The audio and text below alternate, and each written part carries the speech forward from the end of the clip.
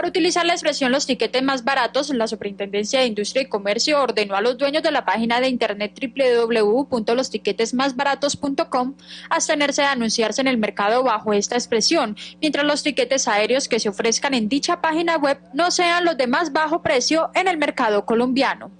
La medida fue tomada ante la solicitud hecha por Baviatur, quien aseguró que la expresión resulta ser engañosa y genera confusión en los consumidores, porque puede constituir una conducta de competencia desleal cuando en realidad no todos los tiquetes que allí se venden son los de más bajo precio en el mercado colombiano. Esta decisión tiene antecedentes en Colombia, pues es similar a la adoptada contra despegar.com cuando la Superintendencia de Industria y Comercio le ordenó abstenerse de utilizar la expresión el mejor precio garantizado.